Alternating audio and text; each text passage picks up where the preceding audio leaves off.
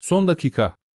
Cumhurbaşkanı Erdoğan, Kocaeli'de Otosan'ın Yeniköy fabrikasının açılışına katıldı. Cumhurbaşkanı Erdoğan'ı, Koç Holding Yönetim Kurulu Başkan Vekili ve Otosan Yönetim Kurulu Başkanı Ali Koç karşıladı. Fabrikadan övgüyle bahseden Cumhurbaşkanı Erdoğan, 3500 kişiye istihdam sağlayan fabrikanın hayırlı olmasını diliyorum. Dünya markası Ford'un mühendislik ve üretim gücünün bir yansıması olan bu tesis, önce özellikleriyle geleceğin fabrikası unvanını hak ediyor, dedi. Güncel haberler için abone olmayı unutmayalım.